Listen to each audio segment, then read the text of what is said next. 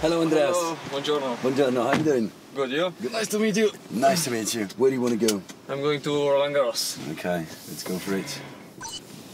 Which special thing would you do if you win Roland Garros? For sure, that night I don't uh, will go to sleep. I think I will No. party all, all night long in some place with the friends, and uh, yeah, then then we'll see what happens. Yeah, and maybe in the morning after the party with a new tattoo somewhere. exactly like Hangover, the film, the movie. Yeah, exactly.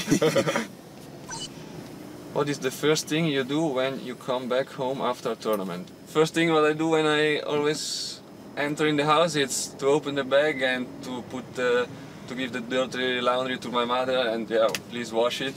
you mean she's still doing your laundry? she's she's still doing my laundry. Uh, yeah. that's isn't that the Italian style? that is the Italian style, really Italian style.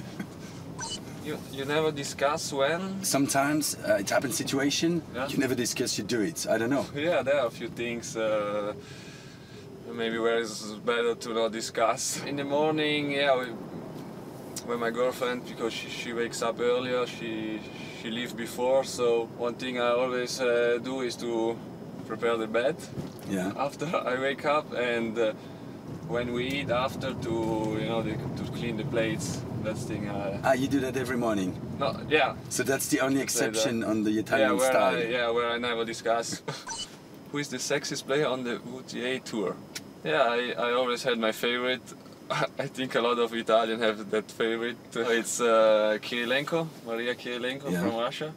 Okay. So make a little picture of yourself. One is going to be your face at five o'clock in the morning if you win Roland Garros.